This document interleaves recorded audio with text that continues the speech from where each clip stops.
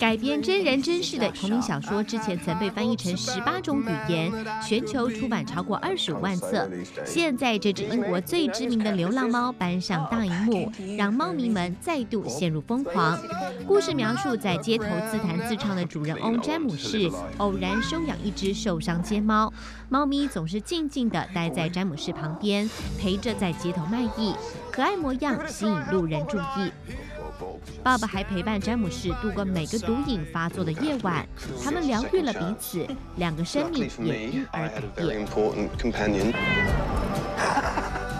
日本剧情片《爱情突如其来》，由性格男星小田切让主演，靠着失业给付，每天浑浑噩噩过日子的男主角，有一天认识了年轻的酒店小姐。个性率真的他，深深吸引着男主角。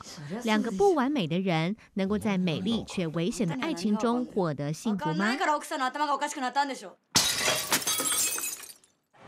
日本暗黑系列电影《黑金丑岛君三》改编同名漫画，推出最新篇章。在这集中，以派遣工作为生的主角和在酒店陪酒的公关，都为了实现梦想，不惜向恶名昭彰的高利贷借钱。但高利贷残酷的追讨手段，也让人怀疑，为了梦想落得债台高筑，真的值得吗？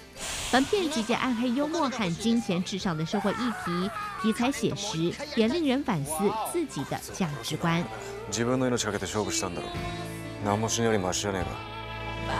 国片《一万公里的约定》由人气天王周杰伦、超马好手林奕杰监制，黄远、赖雅妍主演。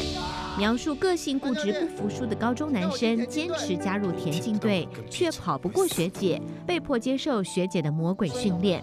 虽然被电得一塌糊涂，但他秉持着傻胆，执着练习。两人也因为每天的朝夕相处，发展出青涩的爱情。我要整死你！装设综合报道。